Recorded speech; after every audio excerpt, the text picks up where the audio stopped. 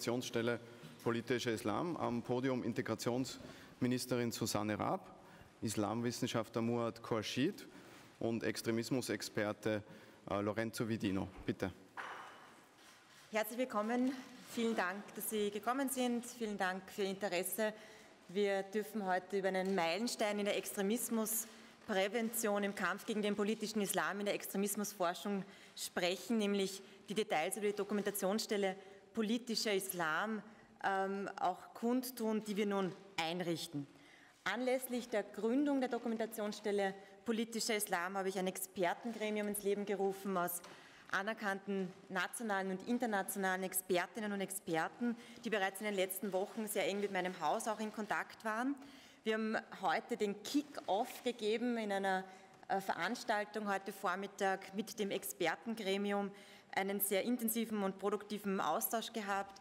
Die Expertinnen und Experten haben mir, mich dabei unterstützt, die Ziele dieser Stelle, die Ziele der Dokumentationsstelle politischer Islam zu definieren. Und ich möchte einmal an erster Stelle Danke sagen an die Expertinnen und Experten für ihren Input, für ihre Bereitschaft, auch hier mitzuarbeiten, dass sie Zeit investieren, dass wir hier gemeinsam an einen Strang ziehen. Für mich ist die Einbindung der Wissenschaft und der Forschung in diese Dokumentationsstelle ein ganz, ganz zentrales Momentum, weil es die Unabhängigkeit und die freie Wissenschaft und die freie, das freie, die freie Forschungsarbeit dieser Stelle sichert. Zwei Mitglieder dieses Expertengremiums, nämlich ähm, der Islamexperte Professor Dr. Monat Khorshid und der Extremismusexperte Dr. Lorenzo Vidino, stehen heute neben mir und werden später dann auch ihre Zugänge zu dieser Thematik darlegen. Eingangs ist mir eines ganz wichtig zu betonen. Man muss unterscheiden immer zwischen dem Islam als Religion und der politischen, extremistischen Ideologie des politischen Islams, die gefährlich ist für das Zusammenleben, die integrationsgefährlich ist, die unsere Werte, unseren Rechtsstaat und unsere demokratische äh, Grundordnung äh, konterkarieren und gefährden will. Ich möchte, dass diese Stelle somit die Religionsfreiheit in Österreich stärkt. Diese Dokumentationsstelle ist im Einsatz für die Religionsfreiheit unterwegs, aber natürlich auch um klar die Trennung vom Extremismus, die Trennung vom politischen Islam, von extremistischen Ideologien und vom Einfluss aus dem Ausland sicherzustellen. Die Dokumentationsstelle ist keine Stelle gegen die Religion oder gegen Muslime, sondern sie richtet sich eben gegen Netzwerke, Ideologien und ausländische Einflüsse, die oft unter dem Deckmantel der Religionsfreiheit die gelungene Integration gefährden. Wir wollen, dass gerade auch jene Muslime, die mit extremistischen Ideologien nichts zu tun haben, dass genau jene Muslime auch gestärkt werden und somit die Religionsfreiheit in Österreich gestärkt wird. Die Aufgabe dieser Stelle ist es, Extremismen, Ideologien, ausländische Einflüsse zu erkennen, zu beobachten und damit auch einzudämmen. Die Grundlage bilden für alle politischen Verantwortungsträger auch gegen diese Einflüsse in Österreich vorzugehen. Warum braucht es diese Dokumentationsstelle? Zum einen die Dokumentationsstelle war bereits ein Output, ein Ergebnis auch des bundesweiten Netzwerkes für Extremismusprävention und Deradikalisierung, eine Einrichtung, die es schon länger gibt, wo die Bundesländer, ähm, äh, verschiedene Ministerien, aber auch die Zivilgesellschaft, beispielsweise das Dokumentationsarchiv des österreichischen Widerstandes auch eingebunden ist. Man hat gesagt, wir haben in Österreich gute Stellen, die sich der Extremismusprävention und dem Kampf gegen Extremismus äh, verschrieben haben, wie beispielsweise das Dokumentationsarchiv des österreichischen Widerstandes für den Rechtsextremismus, aber auch beispielsweise die Bundesstelle für Sektenfragen.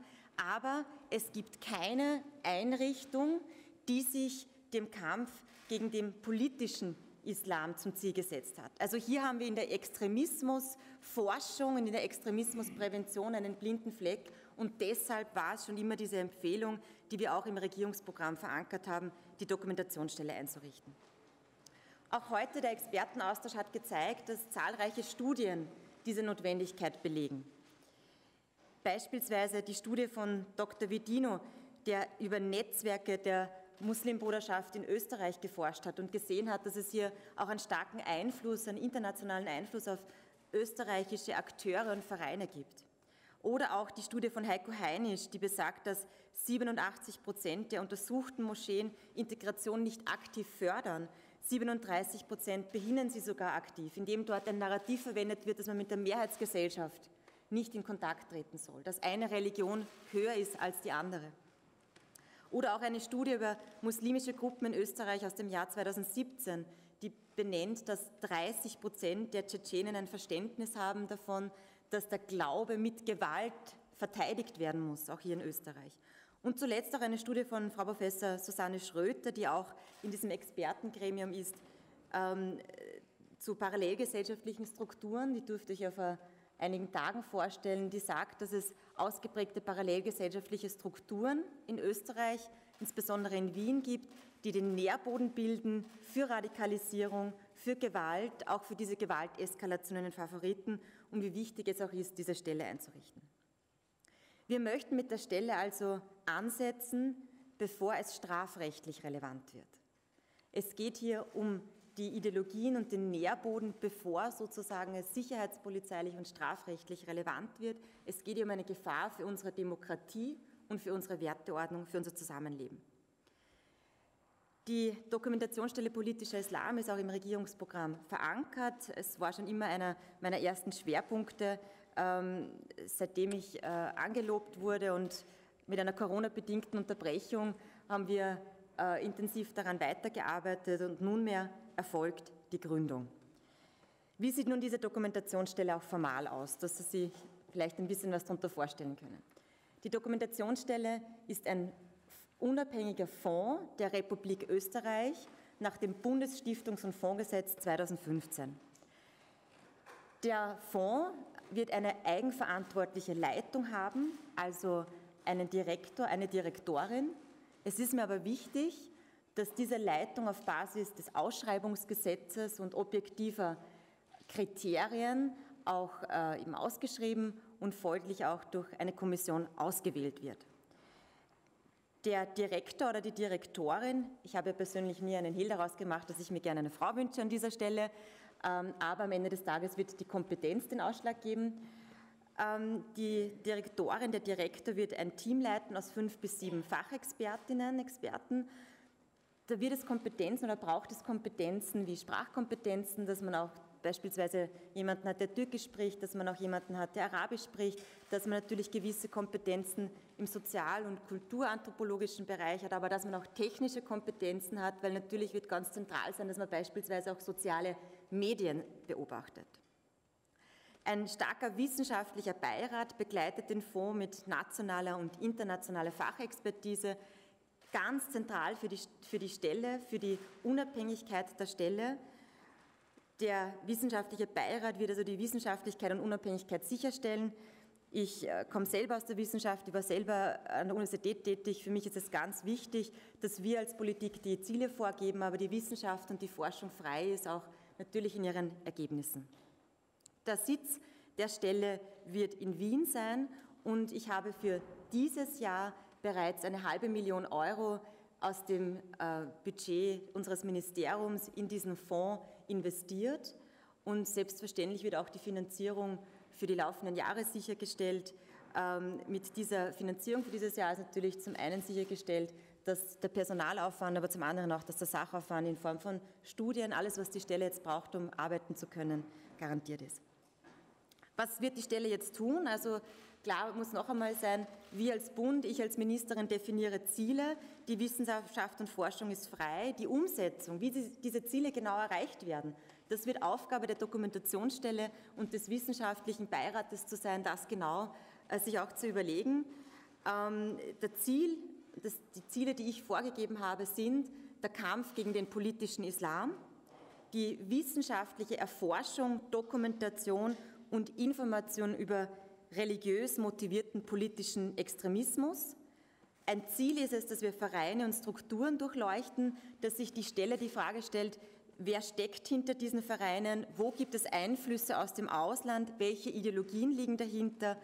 Zentral wird sein, dass man die Aktivitäten im Internet beobachtet und wichtig ist die Transparenz. Die Stelle soll Transparenz schaffen. Sie soll Informationen aufbereiten, für Behörden, für die Öffentlichkeit, für die Religionsgesellschaften, für die interessierten Medien. Es geht darum, dass alles, was die Stelle auch in Erfahrung bringt, zur Verfügung gestellt wird, um wirklich transparent, transparent und äh, objektiv zu arbeiten. Die Stelle wird natürlich auch gemeinsam mit der Zivilgesellschaft zusammenarbeiten. Es wird Kurse geben, Schulungen geben, um auch extremistische Ideologien erkennen zu können. Ein intensiver Austausch und die Kooperation mit anderen Stellen, die sich mit Extremismus beschäftigen, ist wichtig. Dem Dokumentationsarchiv des österreichischen Widerstandes, aber auch andere äh, Vereine und Expertinnen und Experten. Konkrete Beispiele, um noch einmal auf eine niedrigere Ebene zu gehen, ähm, sozusagen solche problematischen Ideologien, die die Stelle beobachten wird, sind, wenn in Moscheen vermittelt wird, dass eine Religion über der anderen steht, wenn wir in Moscheen Kriegsspiele mit kleinen Kindern sehen, wie wir es aus dem Jahr 2018 kennen, wenn Burschen in zweifelhaften Ehrkulturen am Schulhof den Mädels sagen, was sie tun dürfen, was sie nicht tun dürfen. Also da geht es um diese Generation Haram. Wenn in Kindergarten und Bildungseinrichtungen problematische Ideologien über Lehrerinnen und Pädagoginnen verbreitet werden, wenn Vereine auch äh, ausländische Konflikte nach Österreich tragen und wenn da patriarchale Kulturen verbreitet werden, die sich gegen die Gleichberechtigung von Mann und Frau richten, das ist für mich auch eine gefährliche Ideologie, wo wir von Anfang an den Riegel vorschieben müssen. Meine Erwartungen für die ersten Projekte, die ich der Stelle mitgegeben habe, sind eine klare Analyse der Ideologie des politischen Islam. Das ist nicht so leicht, da braucht man Grundlagenforschung, da gibt es ja Graubereiche zur Religion, da gibt es auch Graubereiche zu anderen Extremismusfeldern. Das klingt jetzt vielleicht wenig reißerisch, aber die Stelle muss auch Grundlagenforschung machen. Das ist die Aufgabe der Stelle. Es gibt hier wenig äh, Forschungsarbeit bisher und die Stelle wird hier somit auch international einen großen Beitrag leisten. Zum Zweiten die Überblickskarte über Netzwerke und Vereine, die Ideologien in Österreich vertreten, also eine Art Mapping der Vereinslandschaft damit sichtbar gemacht wird, welche Strukturen, welche Akteure, welche Ideologien hinter diesen Vereinen in Österreich stecken, welche Vereine sind dem politischen Islam zugehörig, welche aber auch nicht, welche Akteure sind gute Partner der Behörden, der Öffentlichkeit, welche sind es nicht, wo äh, kann die Öffentlichkeit die unterschiedlichen Stellen zusammenarbeiten und wo sollte kein Steuergeld auch in solche Vereine investiert werden, weil dort eine problematische Ideologie verbreitet wird. Und zum Dritten eine detaillierte Analyse dieser einzelnen Netzwerke, auch eine internationale Analyse, die internationale Vernetzung, hat auch das Expertengremium heute gesagt, ist ganz zentral, weil der politische Islam nicht an den Grenzen des Staates Halt macht, sondern sozusagen in ganz vielen anderen Ländern auch reflektiert und wiederum Einfluss nimmt. Also da geht es um finanzielle und ideologische Verbindungen und Einflüsse aus dem Ausland. Ein Beispiel dafür wäre die Studie von Lorenzo Vedino eben zur Muslimbruderschaft in Österreich.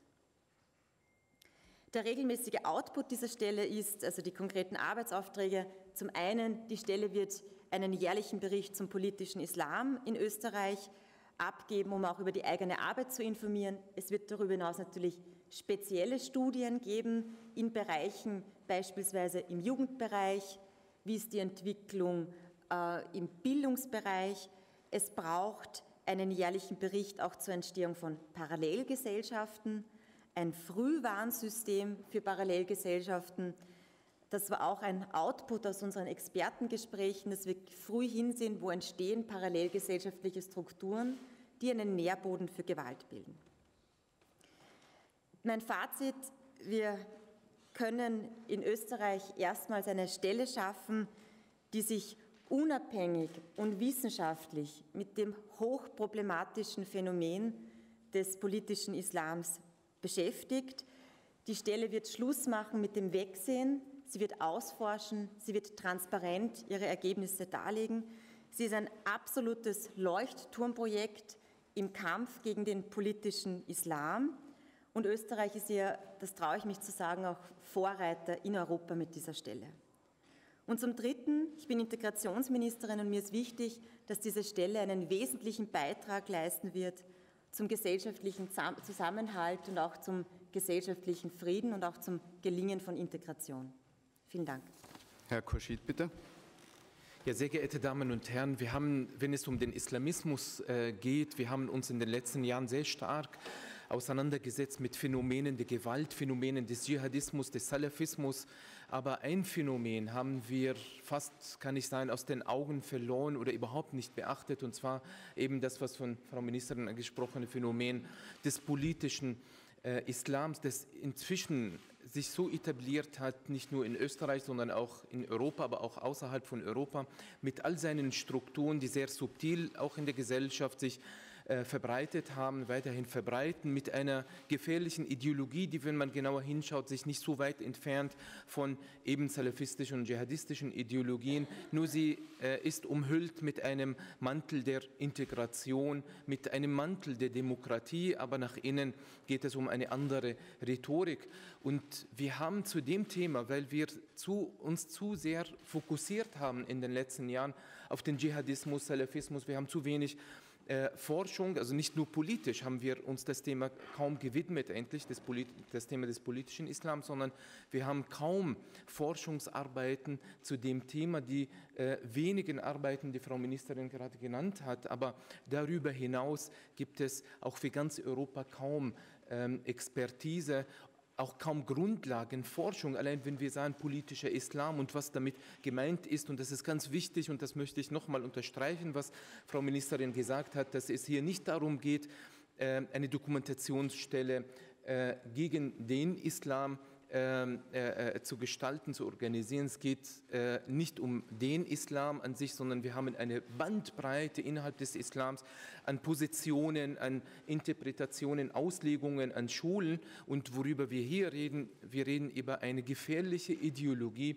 des politischen Islams und nicht über den Islam.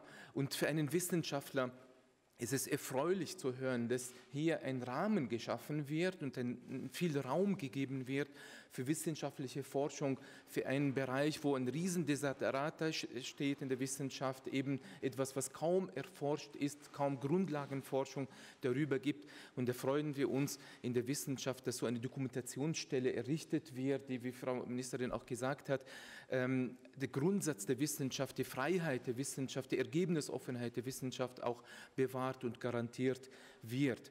Dazu muss ich auch sagen, ich bin selber ja seit zehn Jahren tätig in Deutschland. Ich leite dort an der Universität Münster das äh, europaweit das größte Zentrum für islamische Theologie. Und wir leiden auch in Deutschland darunter, dass wir genauso wenig Forschungen haben ähm, über den politischen Islam. Auch die Politik selbst kennt sich auch kaum äh, aus. Also die Expertise fehlt, aber in der Forschung fehlt äh, auch diese Expertise. Das heißt, diese Arbeit, diese Dokumentationsstelle, und das haben wir heute in einem Expertengespräch erörtert, äh, sie bezieht sich äh, natürlich auf Österreich, aber nicht nur, denn es gibt äh, andere europäische Länder, wo diese Strukturen des politischen Islam sehr stark verbreitet und verankert sind, die angewiesen sind auf solche Arbeiten, auf solche Forschungen. Und so erwarten wir, dass diese Dokumentationsstelle nicht nur für Österreich ähm, also ihre Expertise zur Verfügung äh, äh, stellt, sondern über Österreich in Europa, aber auch über Europa äh, hinaus, auch, auch in die islamische Welt selbst. Ich war vor einigen Monaten auf Einladung des Religionsministers in Ägypten, äh, aber auch in anderen Ländern, islamischen Ländern, die alle dieselbe, äh, also, das, also beklagen alle, ja, wir haben äh, ein Problem mit dem politischen Islam, auch in den islamischen Ländern, aber wir wissen wenig darüber und vor allem der politische Islam ähm, hat ja seine äh, Zentren mehr in Europa mittlerweile als in den islamischen Ländern, weil sie fliehen ja aus den islamischen Ländern und hat die Zentren, die großen Zentren sind in europäischen Ländern, unter anderem auch zum Teil in Österreich, aber das ist alles ein Gebiet, das kaum erforscht wird. Allerdings die Ideologie des politischen Islams ist eine sehr polarisierende äh, Ideologie. Sie spaltet die Gesellschaft, aber auf eine subtilen Art und Weise, anders als der Salafismus oder Dschihadismus, der ganz klar seine Agenten kommuniziert und sagt, wir sind gegen Demokratie und wir sind gegen Gleichberechtigung von Mann und Frau. Aber der politische Islam tritt auf die Bühne auf mit äh, einer Rhetorik der Integration und der Demokratie und der Gleichberechtigung und so weiter, so dass wir diese Strukturen schwer durchschauen, wenn man nicht wirklich in die Tiefe geht und die Strukturen dieser äh, Ideologie erforscht. Und wenn ich sage erforscht, äh, meine ich verschiedene Dimensionen. Frau Ministerin hat ja erwähnt, äh, es gibt ja die Grundlagenforschung, äh, die Dimension der theoretischen äh, Erforschung, also was sind die Theorien des politischen Islams, was sind deren Ideologien, was sind auch deren theologischen Unterfütterungen, wie unterfüttern sie das alles theologisch, das ist nur eine Dimension. Die andere ist die strukturelle Dimension, welche Strukturen hat der politische äh, Islam in Deutschland, in Europa, außerhalb von Europa, wie sind diese Strukturen miteinander vernetzt, das wäre eine Dimension zu erforschen. Eine dritte Dimension wäre die pädagogische, was, wie, wie, wie rekrutieren äh, Anhänger des politischen Islam, junge Menschen, mit äh, welchen zum Beispiel Lehrmaterialien an Schulen oder in Moscheen oder ähm, durch andere Medien, gerade auch die ähm, digitalen Medien, wie rekrutieren Sie die jungen Menschen, wie spielen Sie auch mit den Emotionen der jungen Menschen, denken Sie an den Opferdiskurs, an Opferrhetorik, auch mit der Sie auch die Identität junger Menschen ähm, äh, ja, rück, verunsichern eigentlich.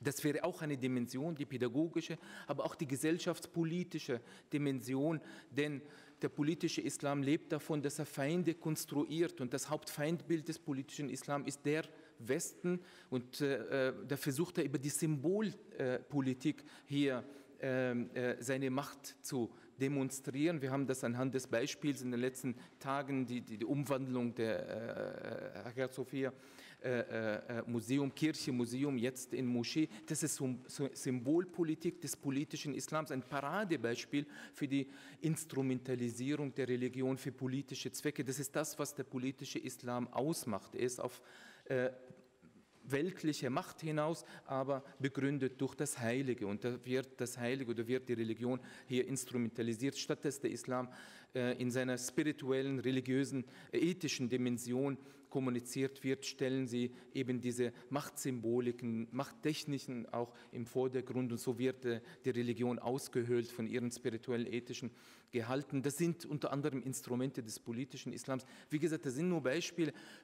Es gibt vieles mehr und viele weitere Dimensionen, die erforscht werden sollten. Diese Dokumentationsstelle soll dies leisten. Wir wurden als Experten hier äh, mit äh, in dieser Phase der, der Etablierung dieser Kommission konsultiert und wir freuen uns, dass wir unsere Expertise zur Verfügung stellen und dass hier seitens auch der Ministerin großes Engagement, äh, auch seitens äh, der Politik, um so eine Stelle, die wie gesagt äh, eine äh, Ausstrahlkraft haben wird, hoffen wir und daran wollen wir alle gemeinsam arbeiten, dass sie nicht nur sich ihre Arbeit auf Österreich begrenzt, sondern darüber hinaus. Und ich weiß von meiner Tätigkeit äh, in Deutschland, aber auch in den äh, Netzwerken, denen ich außerhalb auch Europa, nicht nur in Europa tätig bin, dass sehr viele darauf warten, dass endlich so eine Pionierarbeit geleistet wird. Und das ist eine Pionierarbeit nicht nur für Österreich, nicht nur für Europa, auch für die islamische Welt. Viele wollen das, brauchen das, viele trauen sich aber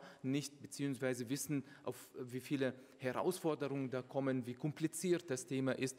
Umso mehr freut man sich als Wissenschaftler, wenn so ein Rahmen geschaffen wird, um etwas zu erforschen, was überfällig ist, dessen Forschung überfällig ist und, und, und was jetzt geschehen äh, sollte. Und deshalb gratuliere ich Ihnen, liebe Frau Ministerin, auch für diesen Schritt und, und, und äh, ja, wünsche uns allen viel Erfolg für diese Dokumentationsstelle.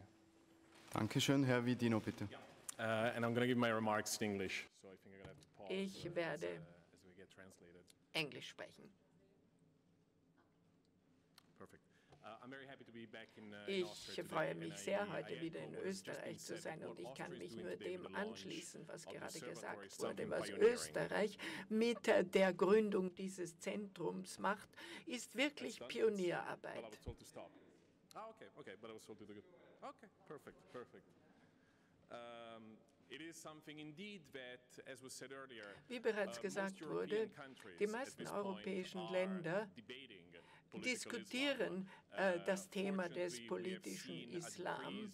Wir haben ja glücklicherweise in letzter Zeit weniger Terrorismusakte gesehen, aber überall in Europa diskutiert man die wachsende Herausforderung des politischen Islam und seiner nicht gewalttätigen Manifestationen. Präsident Macron hat im Februar davon gesprochen, von der Spaltung der Gesellschaft, die der politische Islam in Frankreich bewirkt.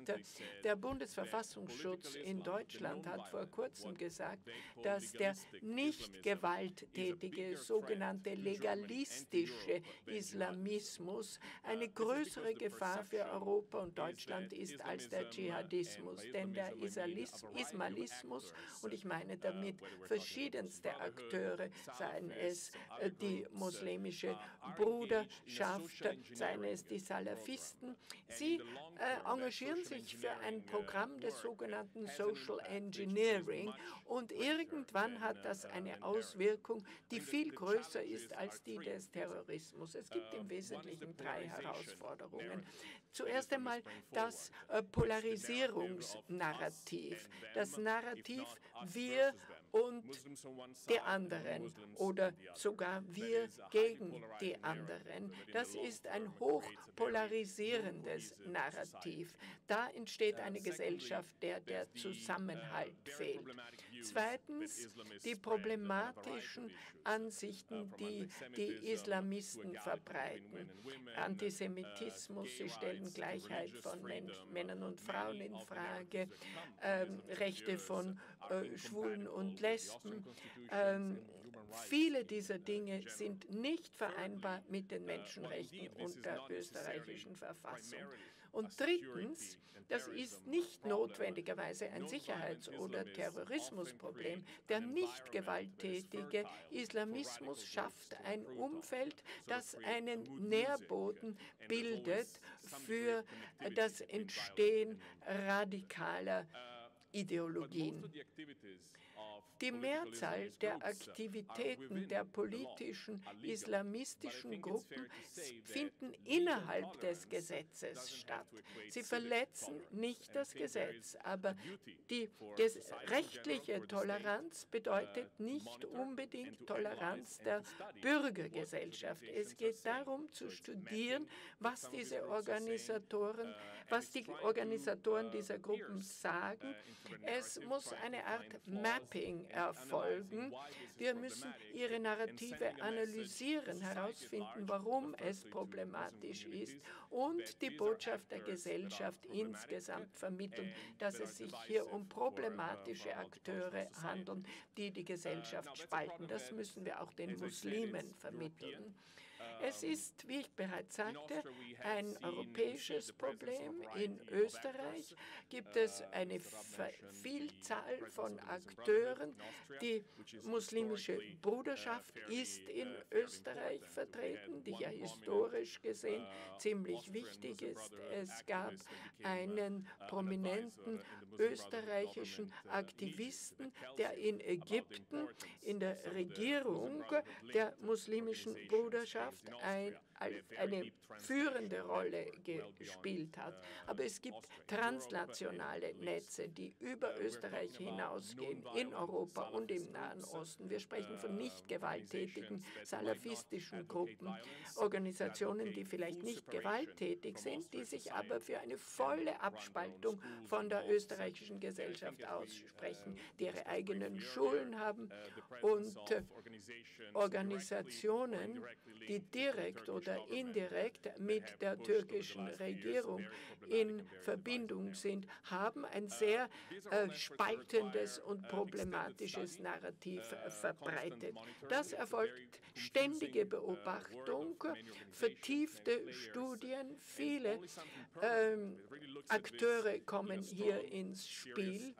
Man muss sich das ernsthaft und in akademischem Rahmen ansehen, um die Ergebnisse äh, den politischen Entscheidungsträgern, der Zivilgesellschaft und der Gesellschaft insgesamt übermitteln zu können. Und ich gratuliere ebenfalls der Frau Ministerin zur Einrichtung dieses Zentrums. Welche Vereine schauen Sie sich da genauer an? Fällt da auch der größte türkische äh, Moscheenverein, die ATIP, äh, unter politischem Islam, unter Ihre Definition? Ja, ganz grundsätzlich wird es die Stelle entscheiden. Also die Stelle soll unabhängig arbeiten und die Stelle wird aufgrund von wissenschaftlicher Expertise entscheiden, auch welche Vereine hier unter die Lupe genommen werden. Aus meiner Integrationserfahrung heraus sage ich ja. Es ist natürlich wichtig, die äh, Vereine hier, die türkischen Vereine, wo wir wissen, dass sie sozusagen auch äh, vom türkischen Staat sehr stark beeinflusst sind und immer wieder auch türkische politische Konflikte über diese Vereine nach Österreich getragen werden, dass man sich das genau ansieht. Herr Haslacher von der APA, bitte. Ja. Ist das Mandat dieser Meldestelle, die Sie heute angekündigt haben, ja deutlich breiter gefasst. Da ist ja die Rede von Antisemitismus, ganz allgemein von religiös motivierten politischen Extremismus und auch vom Rassismus des 21. Jahrhunderts, der da sozusagen beforscht werden soll. Was ist denn aus diesen Punkten jetzt geworden? Wieso denn diese Einengung auf den politischen Islam? Und kommt in diesen anderen Bereichen noch was oder war es das? Äh, und die zweite Frage in dem Zusammenhang, Sie haben jetzt gespro davon gesprochen, dass der Bericht über Parallelgesellschaften von dieser Stelle hier äh, gemacht werden soll. Heißt das, es geht hier ausschließlich um muslimische Parallelgesellschaften? Also glauben Sie, dass es im christlich-fundamentalistischen oder jüdischen Bereich keine Parallelgesellschaften gibt oder Parallelgesellschaften, die jetzt rein vielleicht ethnisch begründet sind oder politisch? Danke. Also zu Ihrer ersten Frage. Ich habe äh, bereits in den Regierungsverhandlungen mitverhandelt und ich weiß genau, welcher Terminus im Regierungsprogramm steht, nämlich es steht an zwei Stellen im Regierungsprogramm, um auch die Bedeutung dieser Stelle sichtbar zu machen. Es steht, äh, dass die Stelle eine Dokumentationsstelle für den religiös motivierten politischen Extremismus in Klammer politischer Islam sein soll und dementsprechend haben wir das auch abgebildet. Aber ja, auch in anderen Stellen des Regierungsprogramms findet sich die Dokumentationsstelle mit breiterem Zugang in unterschiedlichen Bereichen, weil was wir wollen ist beispielsweise auch, dass natürlich äh, der Rechtsextremismus in Österreich auch äh, noch besser beforscht wird und noch besser aufgedeckt wird und dagegen anzukämpfen. Und ja, natürlich haben wir Vorhaben auch im Bereich Rassismus, Vorhaben auch im Bereich Antidiskriminierung, die wichtig sind, auch im Integrationsbereich und die für mich als Integrationsministerin wichtig sind. Diese Stelle soll das machen, was auch äh, schon Expertinnen und Experten schon länger sagen, nämlich genau dort hinzusehen, wo wir jetzt einen blinden Fleck haben. Wie ich auch eingangs gesagt habe, wir haben eine gute Stelle für den Rechtsextremismus in Österreich. Wir haben eine, also für, die, für den Kampf gegen den Rechtsextremismus, wir haben eine Stelle äh, wie, die, für die, wie die Bundesstelle für Sektenfragen, die sich diese Schnittstellen ansieht. Und jetzt braucht es eine Stelle für das Phänomen des politischen Islams. Und ich glaube, insgesamt haben wir dann eine breite Abdeckung für für Extremismusforschung, aber diese Vorhaben, die Sie aufgezählt haben, sich natürlich auch gegen Antisemitismus stark zu machen, sich natürlich auch gegen Rassismus stark zu machen. Das wird Teil unserer Arbeit sein und da wird es auch Schnittstellen dieser Stelle geben. Wir haben auch äh, einen Bereich äh, muslimischen Antisemitismus, der auch ein Kriterium oder der auch ein Teil einer extremistischen Ideologie des politischen Islams ist. Ähm, und genauso wird es Überschneidungen geben zu anderen extremistischen Bereichen. Wenn ich mir die Grauen Wölfe ansehe, dann sehe ich, das ist zum einen eine sehr rechtsextremistische National, äh, äh, zum anderen ist es aber genauso eine Ideologie, die mit dem politischen Islam zusammenhängt. Da wird man stark mit dem Dokumentationsarchiv des österreichischen Widerstands zusammenarbeiten müssen, um ein Beispiel zu nennen. Ja, natürlich gibt es Parallelgesellschaften in unterschiedlicher Ausprägung. Ähm, meine Aufgabe als Integrationsministerin ist es, Parallelgesellschaften an der Schnittstelle zu Migration und Integration sichtbar zu machen und dagegen anzukämpfen. Ähm, das ist meine primäre Aufgabe in unterschiedlichen Bereichen und ich glaube, eine Komponente davon ist natürlich auch der äh, politische Islam, der hier hineinspielt, denn wenn man äh, Menschen in Moscheen sagt, dass, sie, dass es gefährlich ist, wenn sie mit der Mehrheitsgesellschaft, mit den Österreicherinnen und Österreichern zusammenkommen, gar Freundschaften bilden, dann ist das eine spaltende Ideologie, die dazu führt, dass wir parallelgesellschaftliche Strukturen haben. Und so werden die Dinge ineinandergreifen. Unterschiedliche Facetten, komplexes Phänomen. Daher brauchen wir auch eine breite wissenschaftliche Aufarbeitung. Gibt es weitere Fragen? Frau Poschner noch einmal. Welche Konsequenzen drohen den Vereinen, die Sie als dann problematisch einstufen? Breites Spektrum. Also zum einen geht es uns darum, dass wir jetzt einmal aufklären, hinschauen, wo die problematischen Ideologien sind, wie auch die Expertinnen und Experten und im Übrigen auch das Expertengremium, das ich vorher getroffen hat, habe, wo auch österreichische Experten natürlich dabei sind, wie der Soziologe Kenan Günger, genauso wie die äh, Vorsitzende unseres Expertenrates für Integration Katharina Babel. Wir haben Susanne Schröter äh, glücklicherweise mit an Bord, die die Leiterin des Frankfurter Forschungszentrums Globaler Islam ist. Äh, auch Islamprofessoren sind hier mit dabei aus, aus Österreich. Ich will nicht ablenken. Ähm, zu Ihrer Frage, ähm, ja, ähm, können Sie es noch einmal sagen, bitte? Fragen, wenn Sie jetzt irgendeinen problematischen ja, Verein eine, sozusagen eine, gefunden haben, welche Konsequenzen gibt es da? Eine Bandbreite. Zum einen einmal aufdecken, auch sichtbar zu machen, zum einen für die Religionsgesellschaften selbst, für die Musliminnen und Muslime, wo sind äh, problematische Ideologien, zum zweiten für die äh, politischen Verantwortungsträger. Ähm, es ist oft schwierig, auch, das weiß ich auch aus meiner vorhergehenden Rolle, sich sozusagen zu wissen, was sind Vereine, mit denen man zusammenarbeitet, was sind Vereine, mit denen die Politik und die Öffentlichkeit zusammenarbeitet und was sind keine guten Partner, weil sie äh, im Verborgenen extremistische Ideologien fördern. Aber natürlich, wenn, es, wenn die Dokumentationsstelle strafrechtliches Material findet, wenn die Dokumentationsstelle auch feststellt, dass es hier zu Verstößen gegen das Strafrecht oder zu sicherheitspolizeilich relevanten Aktivitäten kommt in den Vereinen, dann wird man das der Polizei übergeben, so wie es hoffentlich jede andere Stelle auch tut. Da wird man hier auch mit der Polizei zusammenarbeiten. Und Sie wissen, Vereinsrecht ist ein hohes Gut, verfassungsrechtlich hoch verankert. Eingriffe in das Vereinsrecht bedürfen eine äh, gute Grundlage. Wenn diese Dokumentationsstelle eine solche Grundlage auch rechtlich bietet, um Vereine aufzulösen, dann wird man das auch tun. Gibt es weitere Fragen von Ihrer Seite? Faktum, wie viele, um wie viele Vereine geht es da eigentlich? Also ich habe gelesen, die Grauen Wölfe haben ungefähr 20, die Vielleicht können wir Kann man da eine Zahl nennen? Weiß man das? Wie how, many, how many organizations are working in the field of critical Islam in Austria? That is, should I go ahead? Ich sage nur einen Satz, bevor also wir zu Zahlen kommen. Und zwar, ich meine, die Dokumentationsstelle soll das ja erst einmal erforschen, Kriterien erstellen, welche, nach welchen Kriterien bewerten wir äh, Vereine nach deren Zugehörigkeit zum politischen Islam, um dann äh, zu sagen, okay, hier gibt es Gedankengut zum politischen Islam in dem und dem und dem Verein. Das heißt, die fragen schon nach Ergebnissen jetzt schon. Äh, und ich denke mir, das ist eine Frage der Erforschung, wobei wir jetzt schon wissen, dass es wie Grauen Wölfe oder andere Vereinigungen, Muslimbrüder, die auch stark vertreten sind in Österreich, dass die äh, es gibt. Aber ich glaube, die Arbeit der Dokumentationsstelle wird genau das präzisieren.